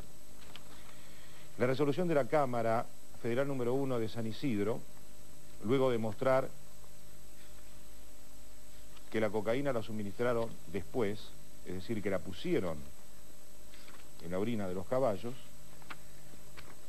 termina y dice, sobreseer a Alfredo Francisco Gaitán y a José Luis Palacios, entre otros, ordenar la extracción de testimonios a fin de que se investigue la posible comisión de un delito de acción pública por parte del doctor José Río Souto, que es el director eh, del laboratorio de San Isidro. El mismo, el mismo personaje que hizo la denuncia contra los jugadores de gimnasia y de Platense es el que hizo esta denuncia, donde se comprobó que los caballos no corrieron dopados, sino que la cocaína se las puso después. Yo no sé qué es lo que se está persiguiendo contra el doctor Lentini, que es el máximo responsable del CENAR. Los análisis que se hicieron en CENAR sirvieron para demostrar que fue positivo el control a un jugador de rugby, pero no sirvieron cuando son negativos para los jugadores de Gimnasia Grima La Plata y del Club Atlético Platense. Los químicos que intervinieron en el análisis del CENAR, donde habitualmente se hacen los controles, uno es el señor García, que es el químico habitual. Pero después hubo dos peritos químicos que el juez Markiewicz eh, mandó para que estén presentes también en los 32 análisis. Dos peritos de la policía. Uno es Alberto Candia y el otro un señor de apellido Arzac. Esto da la impresión que no sirvió. No alcanzaba la orina, porque se ve que eh, la gente mm, que, que, obligó a la extracción no sabía cuál era la medida necesaria, es decir, no tiene la misma experiencia habitual que tienen los médicos de la Asociación de Fútbol Argentino que concurren al control antidoping. Se tuvieron que abrir frascos testigos porque al requerirse una cantidad mínima, se vieron obligados para poder realizar las pruebas eh, de la orina de los 32 jugadores. La metodología utilizada en este momento no figura en ningún manual del Comité Olímpico Internacional. Yo me pregunto, son dudas que tengo, si la persona anónima que denuncia el supuesto doping de caballos de carrera termina en que el juzgado federal número uno de San Isidro, con todas las pruebas contundentes de los defensores de Gaitán y Palacios, demuestran que la cocaína se la colocaron después, ¿qué puedo pensar yo y qué puede pensar usted de lo que está pasando con los jugadores de gimnasia, Grima La Plata y de Platense. Para mí, para mí los 32 son inocentes. Muy bien, pasamos otra vez al fútbol. Vamos ahora al caso específico. Yo había escrito recién, mientras lo escuchaba Marcelo, ¿podrá reflexionar la gente de Racing? Porque puede ser que en la historia pasen los técnicos, pasen los jugadores, han cambiado hasta los presidentes. Sí, seguro. Son muchos años. ¿eh? Son muchos años. ¿No habrá llegado el momento de replantearse algunas cosas? Yo no, sé, yo no soy quien además para replanteármela, pero ¿habrá alguien que pueda entender el fenómeno de Racing? Es muy difícil si uno quiere juzgarlo nada más que a través de los resultados y entonces tiene que echar un vistazo al resultado como consecuencia de un proceso. Y hay cosas que eh, se habrán intentado con, con, bueno, con todo, con todo, buscando hasta el último recurso, apelando a toda la voluntad y no han tenido lo que se esperaba como resultado exitoso. Es un momento difícil. Yo creo que Racing hoy tendrá que mirar hacia el futuro, tendrá que serenar a su gente y tendrá que ver cuál es el mejor camino que tiene que elegir en estos momentos. Vamos a ver entonces lo que pasó hoy en la cancha de Racing donde el equipo local, el equipo de Cubilla, recibía a Rosario Central. Esto pasó. Con Recuplast Interior, sus paredes hablarán bien de usted. Vengo. No importa. Bachu, voy a hacer un gol. Vení que bailamos. Bien atentos y bien concentrados. Primero trabajamos todos, los primeros 15 o 20 los primeros con toda tranquilidad. Sacarle la pelota. Que sacamos la pelota, no defendemos con la pelota. Vamos, vamos, carajo. Vamos, Galván con Molina. Ganó Molina, Molina que sigue el centro de Molina. Escoto para el golpe de cabeza. ¿Cómo se salva Racing? Escoto y el tiro de esquina para Central. Escoto, el centro, el golpe de cabeza. Arriba se iba perdiendo, entraba Balvis. El Nuno Molina. Y el saque de meta que tiene que hacer ahora Racing. La pelota por el medio, otra vez de García, otra vez de Costas. Costas, Costas, Costas. ¡Gol!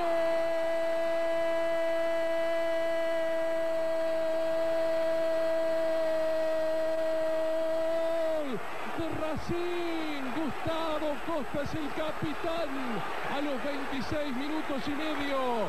Racing le está ganando a Rosario Central 1 a 0.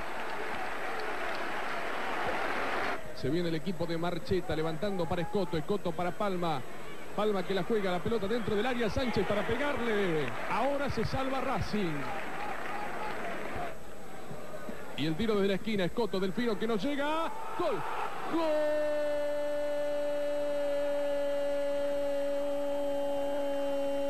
Gol de Rosario Central. El Nuno Molina para marcar lo que fue el gol del empate Ahora están uno a uno con Racing. Otra vez García. García que arranca, se viene el turno, se viene el turno, se viene el turno, volando estupendo, tapando el segundo gol de la Academia Notable también Claudio García, estaba el segundo gol de la tarde. Aquí está Roberto Carlos Galarza. El centro que va llegando otra vez para el Puma. El golpe de cabeza de Jara le queda al Puma. El Puma que entraba tocando para Fleita. Viene el segundo de Racing. Fleita para el segundo. Fleita para el segundo. Se lo pierde de forma increíble. Estaba el segundo gol apenas comenzando el complemento. El tiro desde la esquina lo hace central. Delfino. La pelota para Liusen. ¡Gol!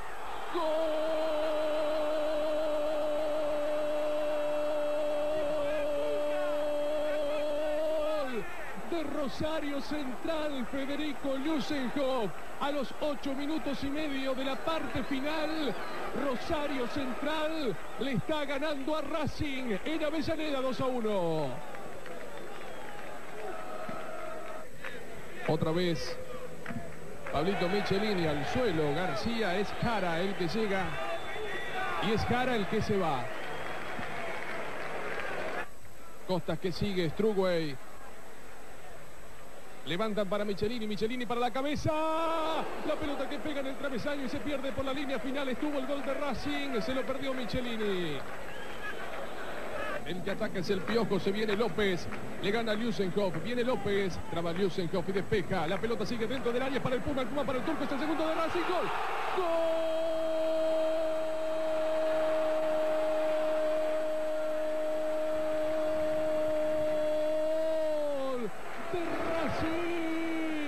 Claudio Mar, el turco García. A los 24 minutos de la parte final, empata Racing con Central. Ahora están 2 a 2.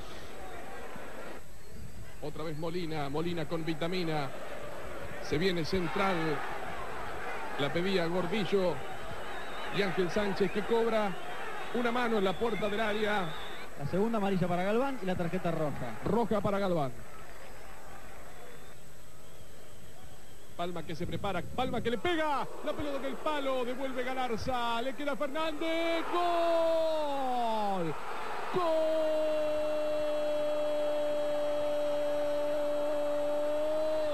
de Rosario Central, Sergio Alberto Fernández a los 29 minutos y medio Central, le está ganando otra vez a Racing en su casa por 3 a 2. García viene para el Puma, estaba Palma, saca Balvis, el Puma que levanta Fleita, pide en mano. Quiere apurar Fleita. La tocaba para Strugway. Cuando se metía el jugador dentro del área en una infracción y la oportunidad de Palma de marcar el cuarto gol para Rosario Central. El que le pega es Palma. Palma, gol. Gol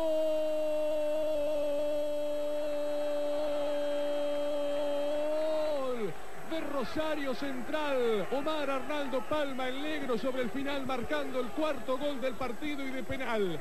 La pelota para Molina, Molina para Palma. Este jugador está habilitado, es Sánchez, es Vitamina, viene Vitamina, sigue Vitamina, Vitamina con la pelota, será el quinto, Vitamina con la pelota, le pegó al arco.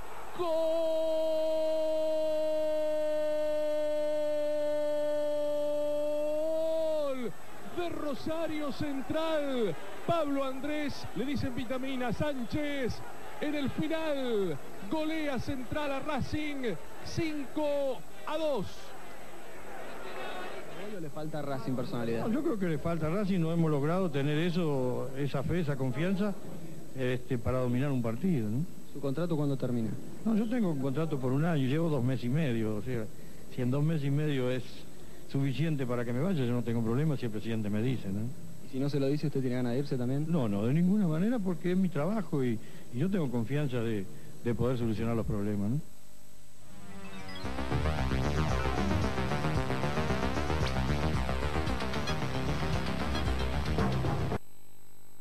Le asignaba grandes posibilidades a Boca para campeón. Digo esto porque se notó que había cierta indiferencia por parte del público de Boca Juniors, cierto desinterés en observar realmente lo que podía hacer el equipo. Más allá de si jugara bien, si no jugara bien, si el espectáculo, si todo lo que se habla y se discute permanentemente, es indudable que estar peleando por algo interesante como era la Supercopa, al público lo motivaba. Y creo que esto se extiende quizás hasta el aspecto anímico de los jugadores. Ferrocarril Oeste fue de visita a cancha de Boca. Acá están las incidencias en la síntesis del partido.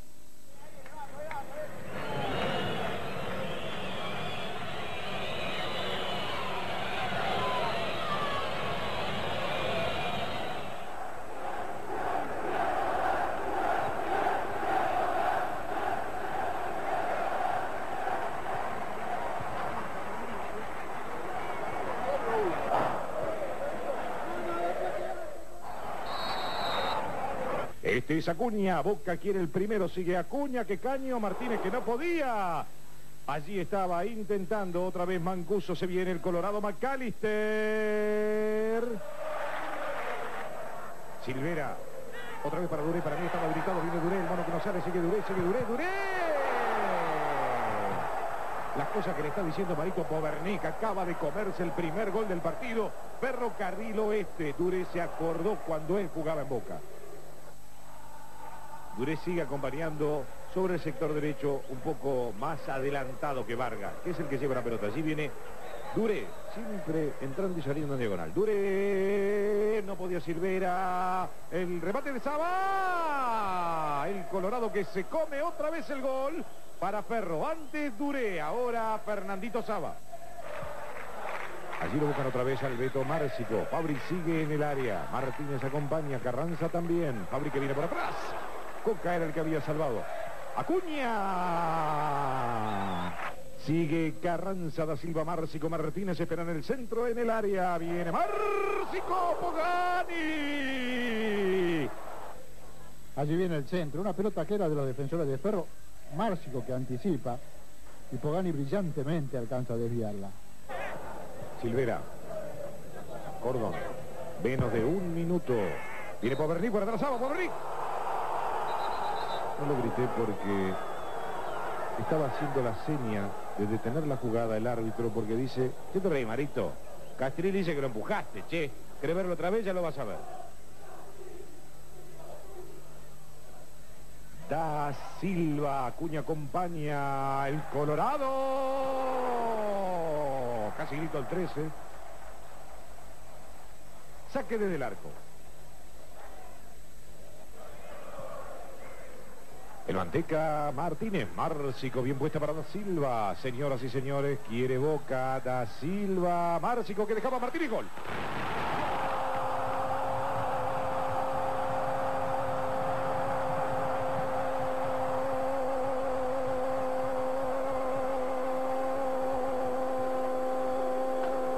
Boca.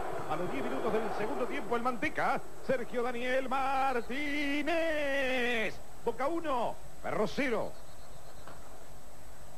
Es increíble, ¿no? Está prácticamente sin posibilidades da Silva de poder jugar la pelota, vean. Lo tiene Coca tomado, le cubre la raya, pero no le cubre tanto la raya como tiene que cubrirle.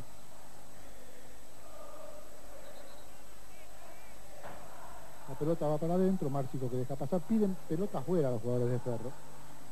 La pelota tiene que irse totalmente de la cancha. Silvera. Vargas. Llega Saba por atrás. Llega Saba por atrás. Llega Saba. Viene por para el empate.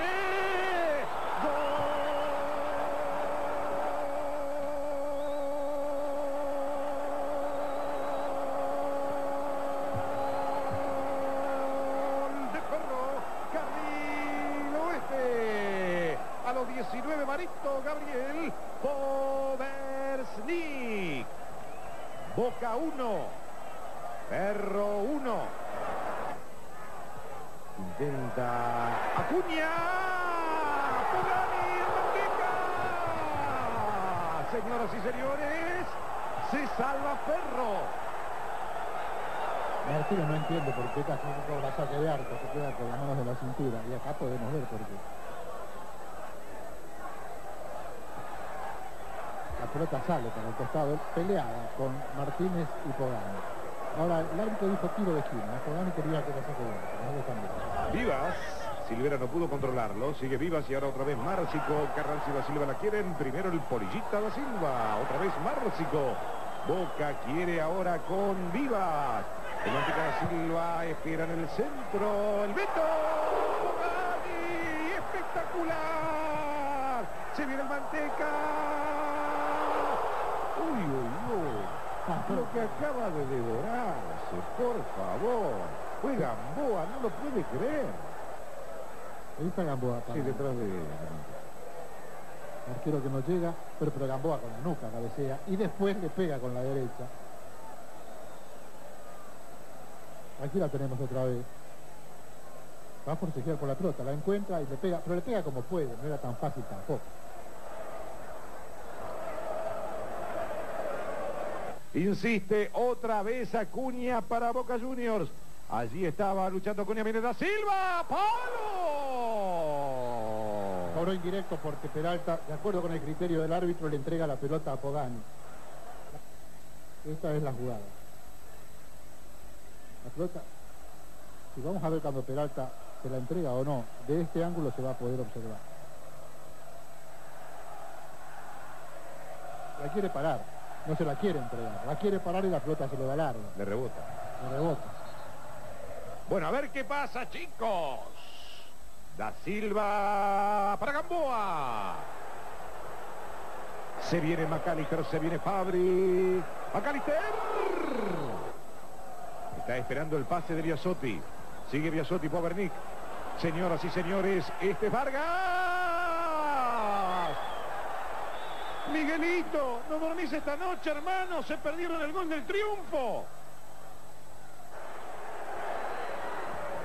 Saba que le erra la pelota, este es Da Silva, viene Carranza, viene Carranza, viene Carranza y este es gol. Ah. Betita, vos tampoco polizas esta noche, hermano.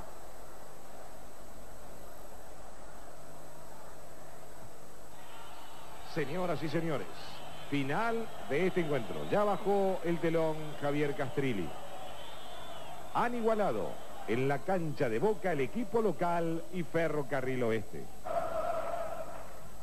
Pero no me puedo olvidar que yo Ferro, eh, Ferro fue el equipo que me enseñó cómo manejarme la vida y, si- lo dije anteriormente, si yo jugué quebrado en Boca, ¿por qué no puedo jugar quebrado en Ferro? El domingo pasado, cuando les comentaba la presentación de Newell's Old Boys frente a los jujeños, hablábamos de la necesidad de, de un triunfo por parte del equipo local, porque esos son los partidos cuando se enfrentan con aquellos conjuntos que están luchando por la permanencia en primera división, que hay que ganarlos. Claro está con las limitaciones que presenta el propio encuentro. Mandillú hoy ganó a los jujeños. Aquí está el primer gol. José Luis Díaz, el exjugador de la Ferrer. Martínez en lateral, Müller llegaba a Casartelli y por atrás Díaz marca el 1 a 0. Me imagino la felicidad de Maradona, de Fren y de todos los hinchas de Mandillú. Allí Acosta el que no llegaba Prisianuk. Y aquí Perrone era el que le pegaba. Acosta que lo busca a Trimarchi. Bernuncio y este es el uruguayo Núñez, miraba, estaba habilitado y va a marcar el segundo gol. En ocho partidos los jujeños hicieron un solo gol. Wilson Núñez, el derechazo para el segundo gol del equipo de Diego. Trimarchi, Guglientini, Gorostidi estaba allí esperando. Muy buena respuesta de Goico. Díaz, venía Domené, este es Núñez y el palo lo salvaba. Pero viene Alvarenga, ¿eh? Va a venir Alvarenga. Y pone el 3 a 0 para el equipo de Diego y de Fred. Así Mandillú le ganaba 3 a 0 a Gimnasia y Esgrima de Jujuy, el primer éxito desde que está Diego. Ya volvemos en fútbol de primera en este sábado por la noche en Canal 13.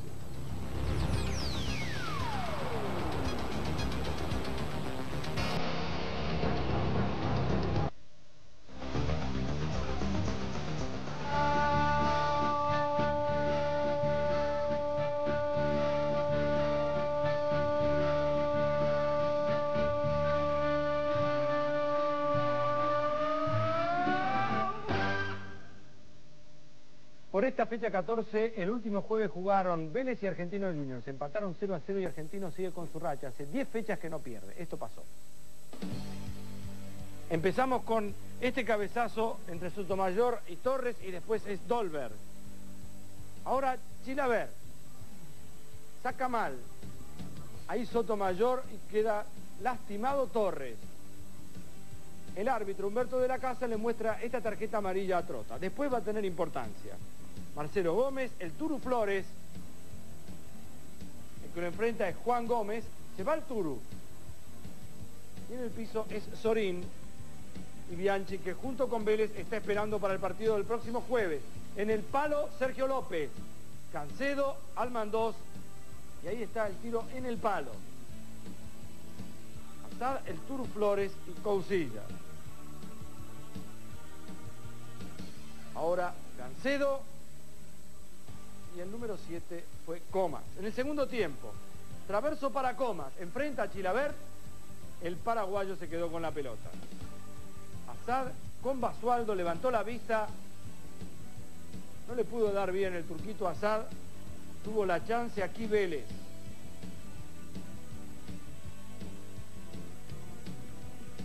Ahora Gómez con Dolber. Increíble, se lo pierde Sermaté.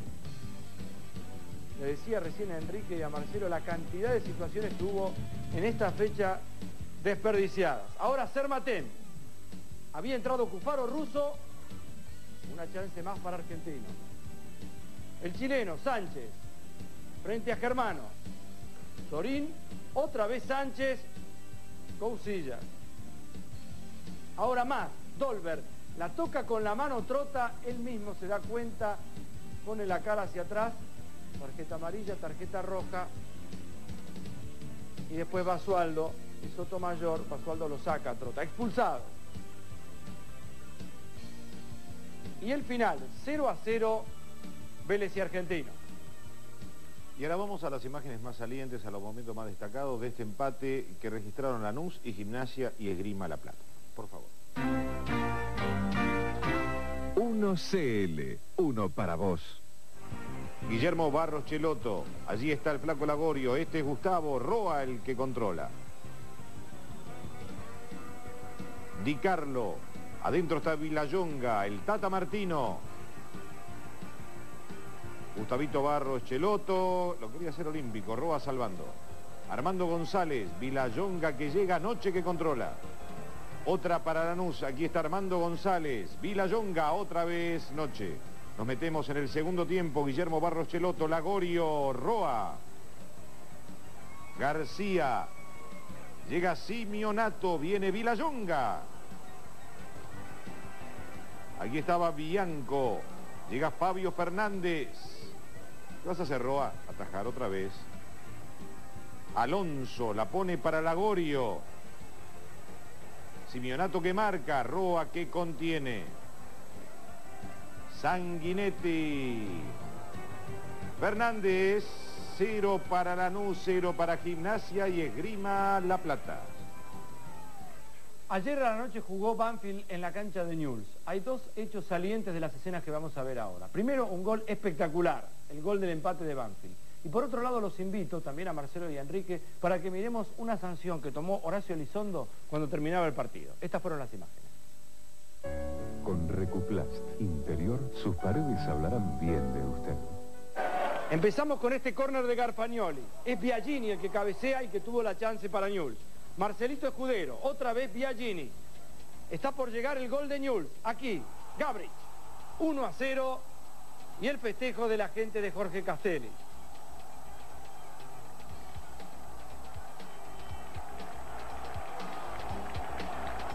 Ahora Ferrer, Berti que la desvía, Camps, Scoponi, Zanetti, Maldoni, Garfagnoli, la gente de Banfield quería penal, el que le pega después es Cinto. Rayo en el tiro libre, Gabrich con el pecho y llega Castaño Suárez. Ahora en el segundo tiempo. Allí cabecea Jiménez. El pase es para Arce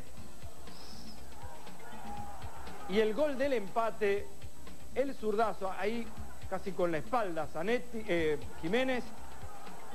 El pase después es para Arce. Coponi creía seguramente que la pelota se iba afuera. Atención con esta jugada. A mí me da toda la sensación que Smaldone la quiere tirar al córner. A Horacio Elizondo no le dio la misma sensación. Cobró indirecto, pateó Alex Rossi el travesaño, empataron uno a uno. El turno ahora para ver en Vicente López las imágenes y los goles del empate entre Platense y Belgrano de la provincia de Córdoba 1 a 1. 1CL, uno para vos. Allí estaba Espina, da la libra jugando otra vez con Espina. Benítez. Marcelito Espina es el que le va a entrar a esa pelota. Allí, muy cerca. Rentera. Llega Arbarelo. Allí viene la Sillar. Otra de Arbarelo. Santoni. La pedía Fernández. Cristante que tapa. Santoni que intenta una vez más. Gravero. Llega Coudet. Va a jugar para Espina.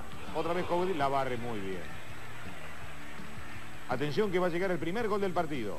Después de la reiteración de esta estupenda tapada de la barre. Da la libera. Hervín, gol. 1 a 0. Con este gol de Pablito Hervín. ¿Quién se lo dedicaste? Arranca Santoni. Llega Luis Fartime, otra vez Antoni. ¿Quién va a responder muy bien? Cristante. Y llegará el gol del empate. Rentera. Lores, que viene por atrás. El Luis Fartime. Dáselas a Antoni que lo hace ahí. 1 a 1 el partido.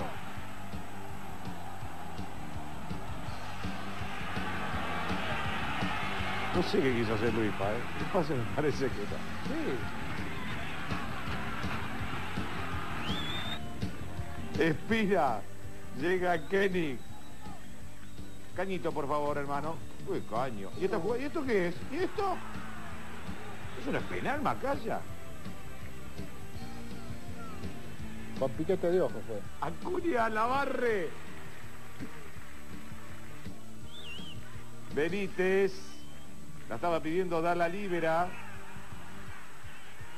Infracción a Kenning.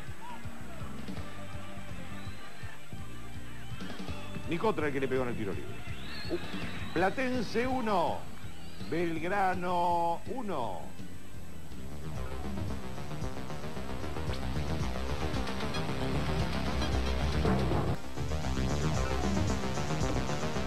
Campeonato River que todavía tiene un partido menos que Vélez Arfield es el único puntero del campeonato con 22 unidades. Vélez tiene 20. San Lorenzo y Argentinos 19. San Lorenzo tiene el partido pendiente con Newell's Old Boys en la ciudad de Rosario. Marcelo, no empieces a decir lo que tiene el partido. Digo nada menos. más los de arriba que importan, Adrián. Dale. Bueno, Independiente 17. Lanús tiene 16 y tiene un partido pendiente, Lanús. Está nervioso porque mañana tiene que estar a la una en la NBA haciéndola acá por Canal 13 País. Sí, ¿dónde estábamos? Newell's, Rosario Central y Banfield tienen 15. Boca Bueno, con 13. 13 están Boca, no solamente Boca. Están Boca, Racing, Belgrano, Platense. Con 12 están Huracán, Gimnasia y Grima La Plata y Ferro. Talleres tiene 10. Mandilú tiene 8. Español 7 y Gimnasia y Grima de Jujuy 6. Bueno, vamos a vamos. entregar folletos explicativos de la tabla de posiciones a la salida del canal, para que la gente sepa bien cómo están los equipos. ¿no? No, los equipos, los equipos están así, lo que pasa es que no saben los partidos que Bueno, vamos a la próxima fecha que se va a jugar, se va a jugar el día para eso que no chupé nada todavía. El martes eh, por la tarde y también a la noche. News jugará con Racing. Gimnasia y Esgrima de Jujuy frente al Deportivo Español. En Córdoba, Belgrano frente a Huracán. A las 12 de la noche estamos el próximo martes con fútbol de primera. Ah, te avisaron por el modicón. en algún lado había que meterlo, en algún lado había que País meterlo. Nacional se está morfando todo lo de los chinos. Bueno, lo que queda porque Fabri ya todo. Independiente juega con Boca. River en el partido postergado para el martes por la noche para torneos y competencias codificado River Platense. Argentino Lanús. Banfield con. Monterrey, Paenza. San Lorenzo con Talleres. Cerro 1, Vélez 6. No juega, ya jugaron. juega, ya jugaron. Está muy bien.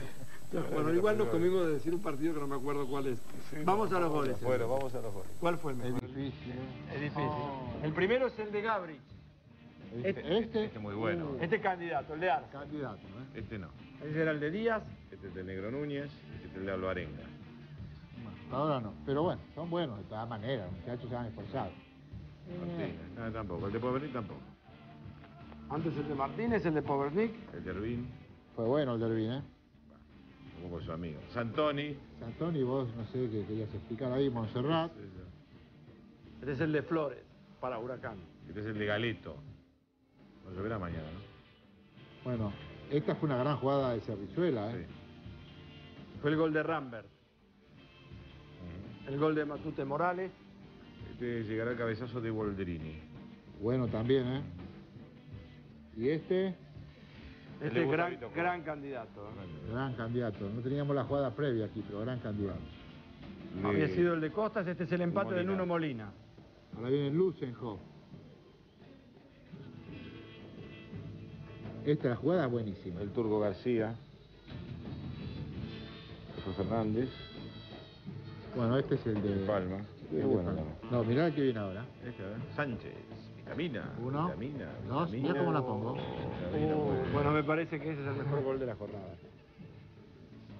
Bueno, Castillo, este le pega fuerte. Ese es un golazo. ¿no? Sí. El denso de tiro libre también. Este también, ¿eh?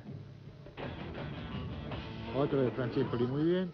Y el de Marcelito Gallardo que Qué también es bueno. buen gol. ¿eh? Bueno, yo ya opté. A mí me gustó mucho el gol de Vitamina Sánchez. A mí me gustó ese, pero elijo el de Costa. Yo también elijo el de Costa. Perfecto, ¿ustedes pusieron de acuerdo? No. No, Perfecto, no se yo no soy como vos, por el eso, mejor pe- gol por eso pensás fue el eso. que vos. eligieron ellos por mayoría, como corresponde. La Bueno, mayoría mañana manda. a la una nos reencontramos con Adrián Paenza y la NBA y el martes a las 12 de la noche. Bueno, el programa, bueno. Muy bueno. Sí, es muy bueno. Otra vez con el fútbol de primera división. Buenas noches. Chao, gracias. Hasta mañana.